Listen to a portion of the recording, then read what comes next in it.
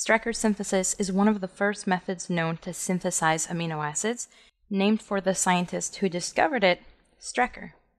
We'll look at a quick overview for the reaction, break down the intermediates, and then go through the step by step mechanism. The Strecker synthesis starts out with an aldehyde, where the R group on the aldehyde is the R group amino acid side chain. For example, if you wanted to synthesize glycine, you use formaldehyde because the side chain is just a hydrogen. If you want to synthesize alanine, your R group would be a CH3 because that is the amino acid side chain. In the first step, we're reacting ammonium chloride, where ammonia mixed with HCl will give us NH4Cl resulting in an imine intermediate, which is a nitrogen double bound to a carbon, like the nitrogen version of a carbonyl.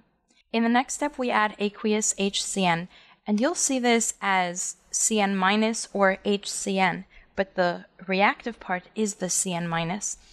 This will give us an intermediate that has the nitrogen where we want it and a nitrile group, which we then hydrolyze in the final step to give us our amino acid. Recognize that this here is our alpha carbon, and attached to it we have the four expected groups the alpha hydrogen, alpha amine, alpha carboxy, and our amino acid side chain. Notice that the amino acid is not drawn in zwitterion form. Instead, the carboxylic acid is protonated, but so is the nitrogen. And that's because the final step, carried out in acid, means the pH is very low, lower than all the pK values, and everything will be protonated. The goal in this reaction is to start out with a carbon chain that has your amino acid side chain and then add the backbone, add the nitrogen, and add the carboxy. This is the reverse of the Gabriel amino acid synthesis, which we'll look at in the next video, where we start out with a backbone and then work to add the side chain.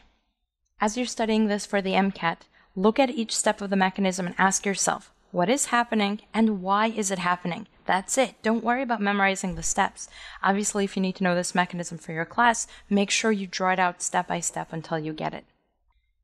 Let's work through the mechanism using 2-methylpropanal as our starting molecule. What amino acid are we forming here?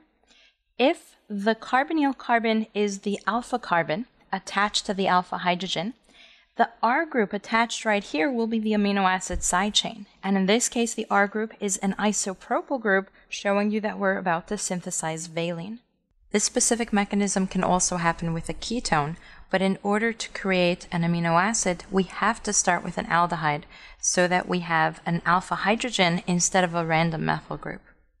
Remember that this reaction takes place in acidic conditions, we have ammonium chloride, where the HCl is simply the proton donator in solution.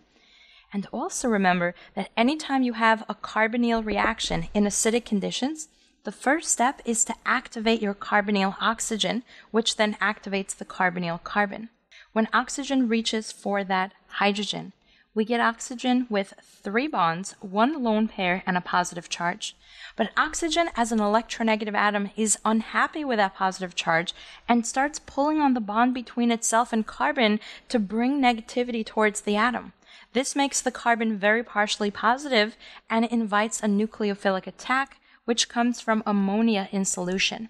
Remember, NH4Cl will give us ammonium and ammonia, so it's the neutral ammonia with a lone pair of electrons that'll attack the carbon. Carbon would have too many bonds, so the pi bond will be collapsed onto the oxygen atom.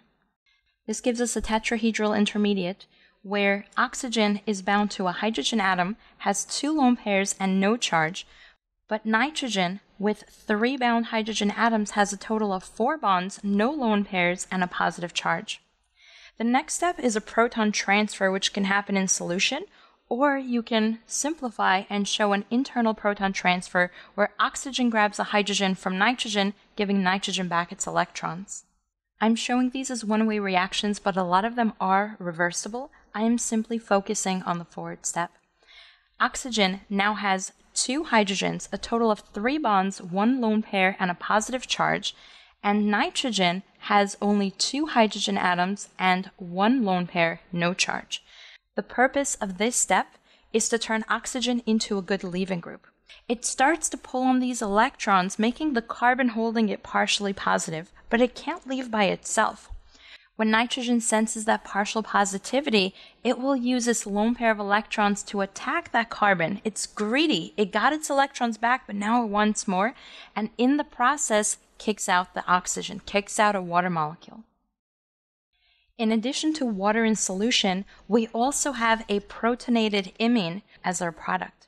For the next step, we can show deprotonation, where something like water or another ammonia in solution will reach for that hydrogen, giving nitrogen back its electrons, or we can assume that it will be in equilibrium with a proton on or off. But for the next step, we need that proton on so that nitrile can attack. Nitrile is a decent nucleophile given a lone pair of electrons on a carbon atom and all the electron density from the triple bond to nitrogen.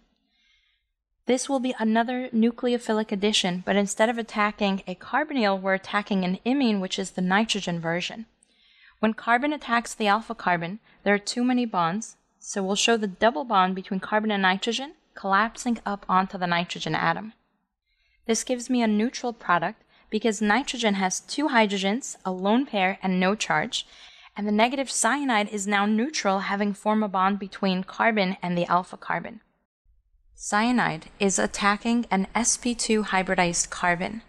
That means we're going from a trigonal planar or flat molecule to something that is sp3 hybridized with four unique substituents for a chiral product. While our cells prefer to use L amino acids, remember they like L amino acids, this reaction will give us a racemic mixture because the sp2 carbon can be attacked from the top or the bottom giving us a racemic mixture of R and S amino acids. In the final step of this reaction, we have to hydrolyze the nitrile so that we keep adding hydrogen atoms to nitrogen to the point where it turns into a good leaving group and leaves, and the remaining oxygen atoms give us a carboxylic acid. This can be carried out in acid or base. For this synthesis, we'll do this in acid. What acid? We'll just show H3O+. This could be any acid dissolved in water that will give you hydronium. In the first step, the lone pair on nitrogen will reach out for that hydrogen atom, giving us a nitrogen with four bonds, no lone pairs, and a positive charge. And we also have a positive alpha amine. Since we're in acidic conditions, the alpha amine will also reach for a hydrogen in solution. Nitrogen, like oxygen, being an electronegative atom, starts to pull on the electron density between itself and carbon, making carbon very partially positive. This invites water as a nucleophile in solution to attack carbon, forming a bond between carbon and oxygen, but also breaking one of the pi bonds between carbon and nitrogen to collapse as a lone pair onto the nitrogen atom. This gives us carbon single bound to an oxygen with a lone pair and a positive charge, and double bound to a nitrogen with a lone pair, three bonds, and no charge. The next step will be a proton transfer. You can show this in solution, or show nitrogen's electrons grabbing one hydrogen atom off of oxygen, giving oxygen back those electrons. This gives us a neutral oxygen with two lone pairs and a positive nitrogen with no lone pairs. The next step you can think of as ketoenol tautomerization. Nitrogen, as an electronegative atom, is pulling on the pi electrons between itself and carbon, making that carbon even more partially positive. The partially positive carbon attached to an electronegative oxygen gives us another attack that we've seen again and again. Oxygen's electrons will reach down and form a pi bond to carbon, kicking out the pi electrons between carbon and nitrogen. Oxygen is now double bound to carbon with a hydrogen atom, one lone pair, and a positive charge. And nitrogen is now single bound to carbon with two hydrogens and a lone pair. Nitrogen still wants to get another hydrogen atom, but don't forget we have a lot of water molecules floating around in solution. One of these water molecules will act as a nucleophile and attack the carbonyl carbon, collapsing those electrons onto oxygen. If you're overwhelmed at this point, don't worry, we're almost done. Carbon is now bound to two oxygen atoms. The first is the OH from the initial water attack. The second is an OH2 plus from the second water attack. Given that it still has a second hydrogen atom, it has one lone pair and a positive charge.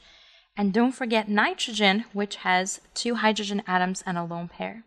This is our tetrahedral carbonyl addition intermediate. Nitrogen wakes up and realizes there are positive protons around, so it uses its lone pair to grab a hydrogen and give oxygen back the electrons. So what do we have right now? We have the blue OH from the first attack, the green OH from the second attack, and a nitrogen atom with a collection of hydrogens that it took from the nearby groups or solution one at a time. The oxygens are both neutral, but nitrogen having four bonds and no lone pairs has a positive charge, making it a very good leaving group. And notice this was the goal of the reaction. From the very beginning, nitrogen grabbed the hydrogen and reduced the number of bonds to carbon. Grabbed a second hydrogen, reduced the number of bonds to carbon, grabbed a third hydrogen, and now we want to get rid of that final bond to carbon. But remember, Leaving groups can't leave by themselves in this type of reaction, they have to be kicked out. We can show either of the two oxygen atoms reaching down with its electrons to form a carbonyl carbon. The best leaving group gets kicked out, in this case nitrogen takes the electrons and just leaves as an NH3. What do we get here? We have the blue oxygen double bound to carbon with one lone pair and a positive charge the green oxygen single bound to carbon with two lone pairs and no charge, and an NH3 off in solution. But we're not done. We activated the carbonyl to make it reactive and get this reaction going. But now that we're done, we have to get rid of the hydrogen. Ammonia is considered a strong base when you're in an acidic solution, and so it'll use its electrons to grab that final hydrogen from oxygen, giving oxygen back its electrons and giving us our neutral final product. We have a carbon double bound to oxygen with two lone pairs and no charge, and a carbon single bound to oxygen with two lone pairs and no charge. We also have ammonium in solution. Let's look back at the amino acid product. The carbonyl carbon that got attacked at the very first step is now our alpha carbon. The nitrile carbon is the alpha carbonyl, which is now a carboxylic acid. The incoming ammonia is the alpha amine, and the aldehyde hydrogen is the alpha hydrogen. Be sure to join me in the next video where we look at another reaction for synthesizing amino acids, the Gabriel malonic ester synthesis. You can find that video along with the entire amino acid series practice quiz and cheat sheet on my website, leah4sci.com slash amino acids.